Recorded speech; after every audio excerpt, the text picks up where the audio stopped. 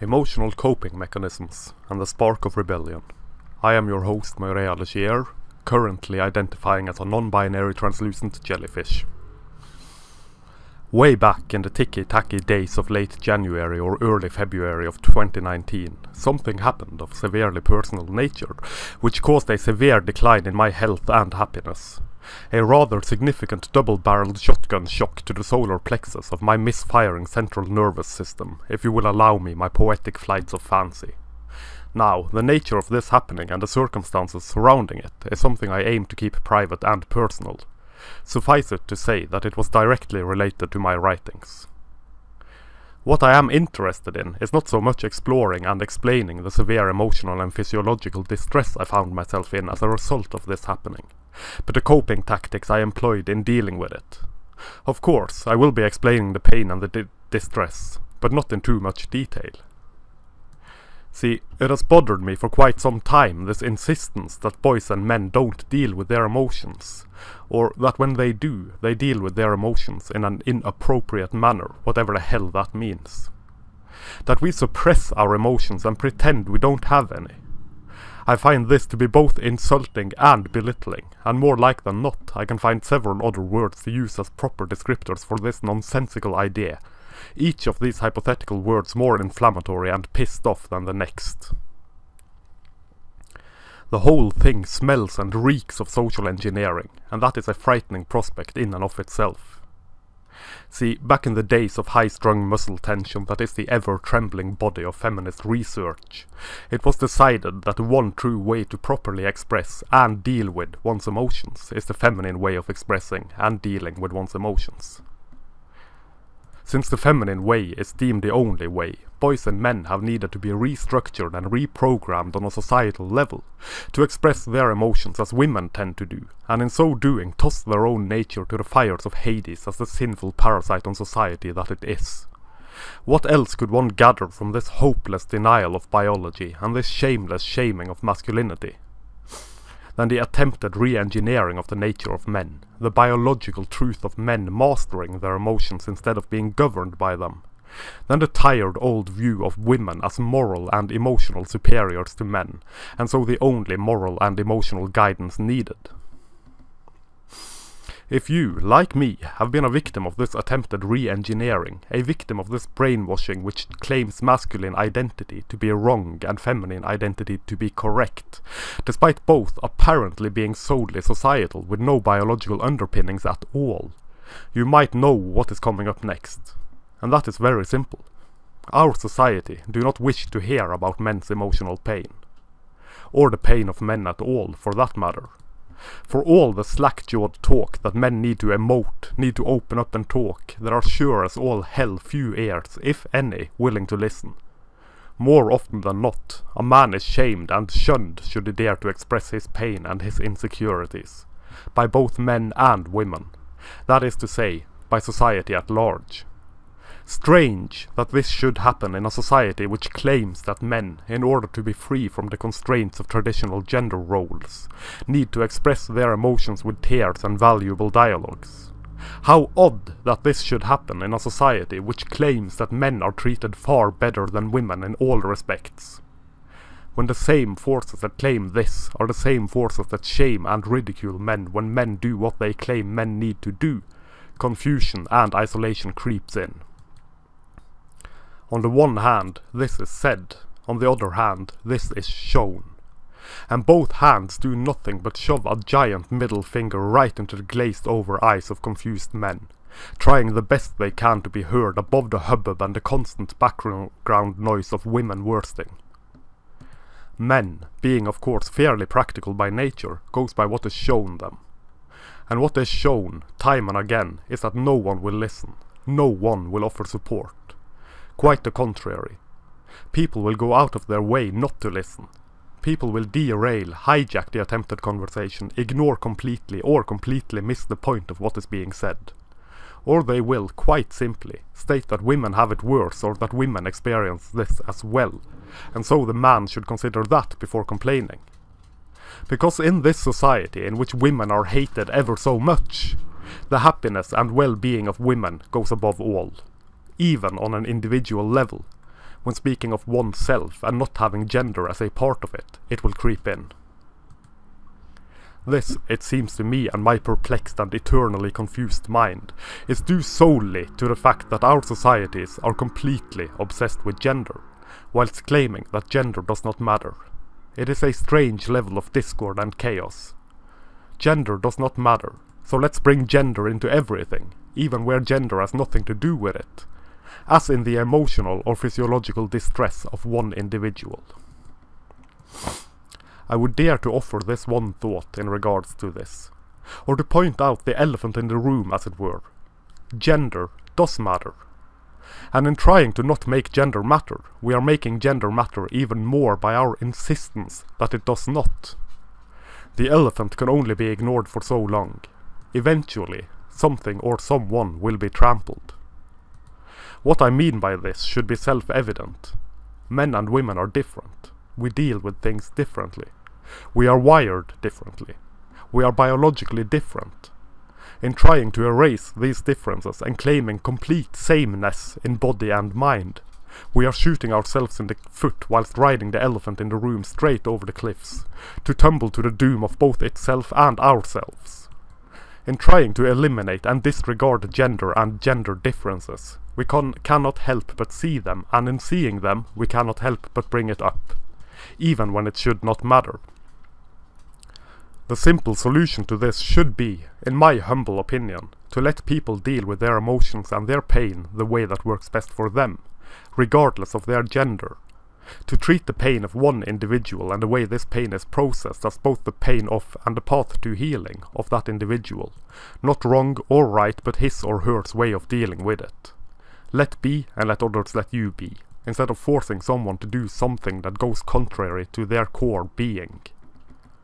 If he would talk and cry about it instead of seeking action or solitude, as men are known to do, this should be treated the same as if he seeks action or solitude. There is no shame in either, and there should be no shame in either. Clearly, this is something I believe should apply to women as well. My fo focus, however, is on men and men, by and large, are drawn towards action or solitude as a way of dealing with their pain. The action, I find, is more often than not of a constructive and creative sort. And I can think of no better way to tackle difficulties than to turn what could easily be a destructive force, for instance depression or anger, into something constructive. To create something out of that which would otherwise seek to destroy to claim, as the feminist hive mind do, that men suppress their emotions because they do not deal with their emotions as women do, and I am speaking broadly of course, is to claim that one way is better than the other, instead of it just being different paths to take. It is as insulting as it is stupid.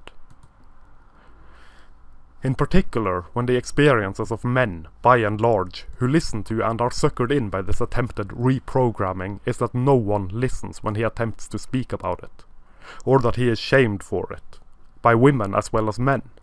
Now, imagine if the feminist hive mind had not been so hell-bent on dismantling any and all male-only spaces, whilst of course keeping female-only spaces female-only. See, men have always offered support to one another, it just takes a form different than the one women tend towards. And in dismantling male-only spaces, a whole hell of a lot of that support flew out the window. Just look to the men's shed stuff in Australia. But more on that in a later ramble, I think. From personal experience, anecdotal as it may well be, this holds true. I suffer from chronic pain and chronic fatigue as well as being constantly in the grips of insomnia which one would expect does not exactly benefit my emotional state. These three are fairly severe, and of course it is all intertwined and interconnected, and when the mind is in distress, the body is in distress, and vice versa. Which makes the usual view that body and mind is somehow separated bother me immensely.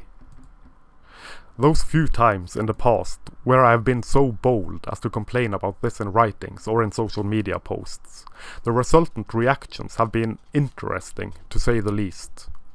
More often than not it has been ignored. This, I think, is to be expected with posts on social media as a general rule. Other times, however, I have been shamed for it, with one instance in particular tickling my rage bone or something awful.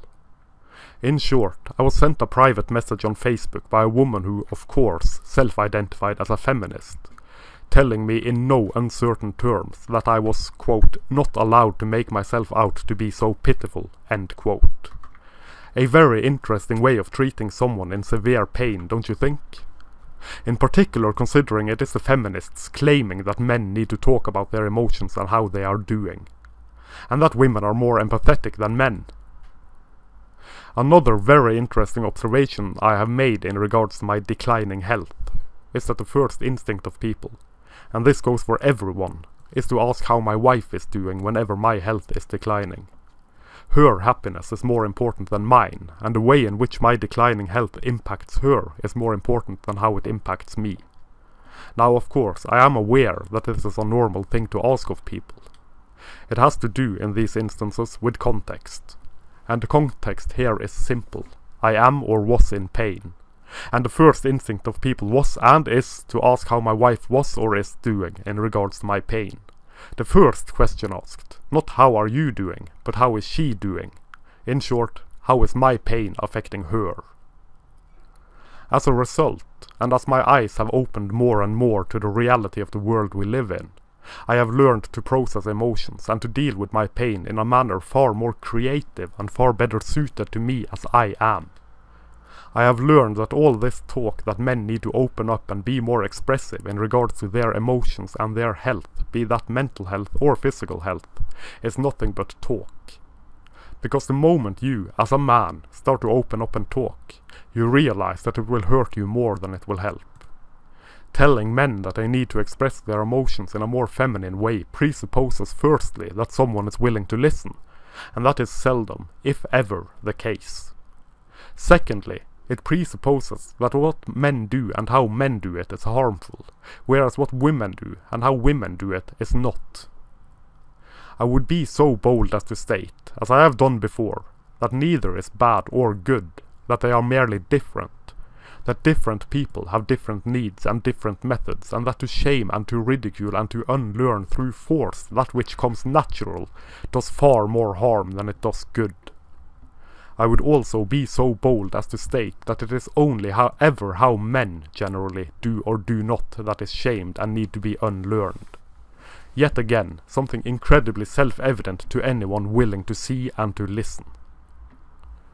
Why not create a movement telling women that they process and deal with their emotions all wrong? Well, that would be sexist. But it is quite alright to tell men that they process and deal with their emotions all wrong. That is not sexist. That is equality made manifest. Because to these people, equality is whatever they say that it is at any given moment, as long as women can somehow be made to be better than men at something, preferably all the things or as long as the feminine can be made to be better than the masculine, despite none of these, apparently, existing as anything but socialization, and as such could be written off as just as expendable and nonsensical as each other.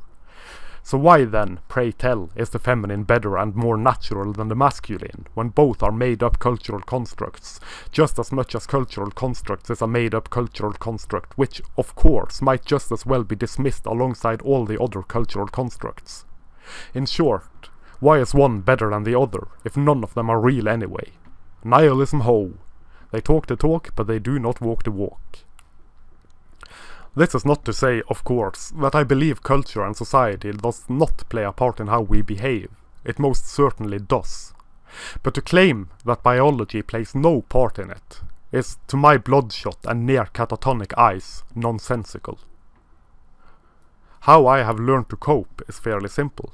I write and I draw, or I retreat into solitude to mull things over, thinking on it and grinding on it until it is ground into dust and I have transcended it. Some things are of course far more difficult to transcend than others, as is the case with what happened in late January, early February, the results of which still manifest as a severe flare-up of my pain, fatigue and insomnia, even in the midst of April, when I should be enjoying the early days of spring.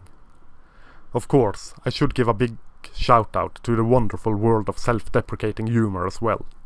Finding something to laugh about, even in the midst of severely debilitating pain, loosens the reins of the thing.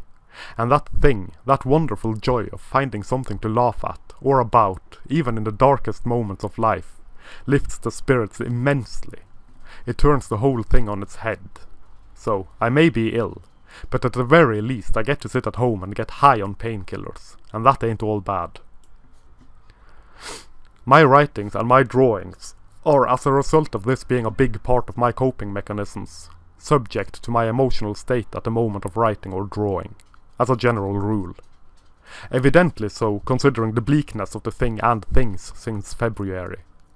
For all my logic, or illusions of logic depending on which way one sees it, I assume, my writing is highly emotional.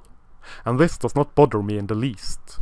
It may bother other people, of course, which, when one tries to get other people to listen or to read, might prove itself to be a problem. The point of it is that it gives me a healthy outlet for anger, depression, anxiety, or good old-fashioned sarcastic snark. It's either that or self-loathing, and I have done enough self-loathing to last me a good dozen lifetimes or so. See, in my darkest moments, in prior incarnations of my ever-evolving personality and barely contained psychosis, I was very much a prisoner of feminist indoctrination, and as such considered myself to be a fault and a flaw in and of the world around me. Growing up with the message that men are scum imprinted upon the plasticity that was and is my brain, I could not help but eternalize the message. If one viewed it from the outside, one would not hesitate to label it as political indoctrination, for the very simple reason that this is exactly what it was, is and always will be. It was not until I was 28 years of age that I actually heard someone say anything positive about men in general. Prior to this, it had been nothing but shit. Hardly a day going by without the message of men's inherent wickedness and cruelty being fired into my subconscious mind with all the subtlety of a nuclear bomb. When teachers, subtly or not so subtly, constantly and consistently hammered the message of the flaws of men into our immature and underdeveloped psyches, one could not help but embrace it as a part of one's own personal belief system. Couple that with the media insisting the same, as well as relatives and everyone else in the social circles of days gone by, one is left with the resultant war cry, echoing and reverberating within as well as without. There is something wrong with boys and with men. How one can look to this constant message, this constant bombardment, this constant assault upon boys and upon men and upon masculinity as a force of pure good instead of the destructive force of pure chaos and hatred that it is, speaks volumes to the might of gynocentrism and of the manipulative powers of the immense fraud and sham that is feminism to look upon the way boys and men are constantly devalued, ridiculed and shamed by not only feminism, but by the society which we inhabit, and then claim that it is a force seeking equal treatment of the genders is absurd on its face. But that is the level of indoctrination, that is the level of manipulation, that is the level of our societal psychosis and the value women have in our society how one can look upon the treatment of men and the treatment of women in our societies and claim in unison that women are oppressed and that men, all men everywhere, are guilty of oppression is as ridiculous as it is laugh out loud funny. We ought to howl with mocking laughter at this ridiculousness. But we can't. The tears get in the way. A wondrous male privilege this, to be allowed to see my very nature dragged kicking and screaming through the mud and ground up glass all the way to the hangwoman's noose, sentenced to death by our moral superiors. For years I believed it all, swallowed it hook, line and sinker, to sacrifice myself and what I want for the betterment of women, to step down and shut up, not object not even to the gravest trespasses upon my own personal space or to the devaluation of my mental well-being, were it done by a woman or someone claiming to do good for women. And as the self-loathing grew, so too did my natural expressions of my own masculinity diminish, to the point where I was but a shell, a flimsy, transparent nothing, my previous ability to say what was on my mind in regards to any given subject was thrown into the abyss alongside what was left of my self-respect. I had been not only told, but shown, time and again, that any objection to the feminist rhetoric would be shot down, no matter what facts I had, no matter what the truth was. The objections were not shot down by facts, reason or logic, but by shame and ridicule from women, which, for a young man burdened by puberty, the insecurities of puberty as well as insecurities emanating from the feminist insistence that there was something wrong with me by my very nature, was and is absolutely horrible. For years I did not cope. I settled for disappearing instead. Isolation and a bleak and nihilistic outlook took precedence. I sought the void, and became a lost boy, not going anywhere, not staying anywhere, not being anything but an over-medicated mess of a man forced into psychiatric help which did not wish to see the root cause of the issues I was facing, but chose to medicate the symptoms into oblivion instead, and in so doing medicating me into oblivion alongside the symptoms. And so, when realization dawned after years and years of this vast and empty nothing, it dawned with the crash and the bang of a thousand suns imploding and exploding, a constantly repeating pattern of implosion and explosion, immediate, immense, powerful, mighty, frightening and masculine as though the gates of hell were opened, unleashing the hounds of war. I marched to war with what strengths I had, which was, and is, art and writing. Wrote the piece remembering rebellion, not knowing whether or not I would keep writing about these topics. Turned out I would, even at great personal expense. That, I think, is one of the great masculine virtues. Being able to turn something severely destructive into something fantastically constructive, no matter how long it takes to get to that point. To transcend tragedy and despair, not through crying, not through talking, but through action, through creativity, through honestly translating pain and heartbreak, trauma and destruction into language, into symbols, into lines and scribbles, aiming, always and ever, to transcend, to overcome, to grow and then to follow the process and become stronger, better and even more suited to survive whichever difficulties life, with all its suffering, will throw at oneself. Through remembering rebellion, I found the rebellious spark which was present in my formative years. And I would urge others to re-find, regain, reawaken that spark of rebellion. That force seeking to rebel against all that is, all that was, all that ever will be, and capture it vividly, fantastically, glowingly, immediately, within your minds and guts and balls. To explore it, expand it, explain it through whatever strength one has. Teenage rebellion is one thing, an unfocused force of self-exploration and self-expression. A force designed to rip oneself loose from the looming authority figures of that time in one's life. Something deep inside which makes one pound one's chest with one's fists and roar primeval, primitive, primordial, beast-like, reptilian that I am here and don't you dare challenge my right to be here or belong here. And now, in adult life, with the damage done by feminism so clear to all who are not indoctrinated, who are not clinically insane, who are not still caught in the grips of our dominant ideology, of our demand for ideological purity and conformity. That spark of rebellion seems to me to be more important than ever it was before. And now, in adult life, with boys and men being beaten, shamed and medicated into submission and subservient subjugation to the demands not of women but of feminism, an adult mind would be, should be, could be capable of focusing that spark of rebellion through a lens of reason, truth, and a demand for consideration and compassion. To make that spark of rebellion so focused, in fact, that it tears through the feminist rhetoric, that it burns right through the skin of feminism and so exposes and utterly dismantles the core, showing it to be nothing but what it has always been Marxist rhetoric of class on class warfare reclothed as gender and gender warfare. Because this is not a war of the sexes. It is a war of ideology against one sex, harming both sexes in the process. It is not men against women or women against men. It is feminism against men and against the very fabric of our societies and all common sense. It stuns me in how cleverly it has been implemented how fantastically smart it has been in painting any opposition to feminism as an assault on women and on, the, and on equality between the genders.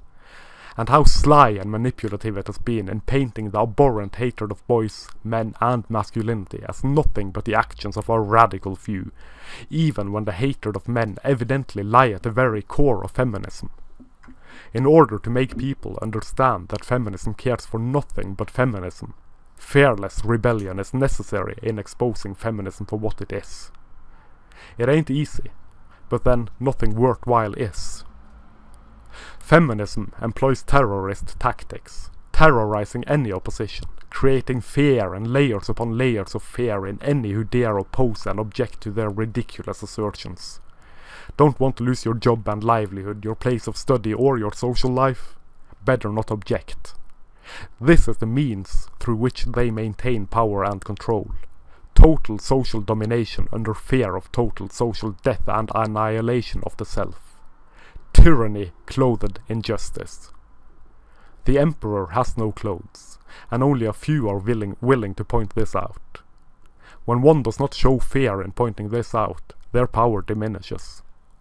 In the end, they will expose themselves to more and more people as having nothing but flimsy emotional manipulation and the threat of social death and ostracizing on their side.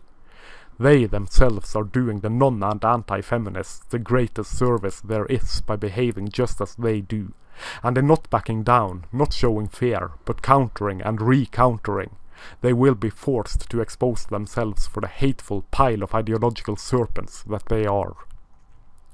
Rebellion ain't easy. But we have two things on our side. The truth and the very simple fact, however silly it may sound, that everyone, whether, the, whether they admit it or not, loves a rebel. Thank you very much for watching. I hope you enjoyed this ramble as well as my other ramblings. Please consider sharing, liking, subscribing and all that jazz. That would help the message, such as it is, be manspread far and wide. Take a look at the links down below as well, if you please. Catch you next time.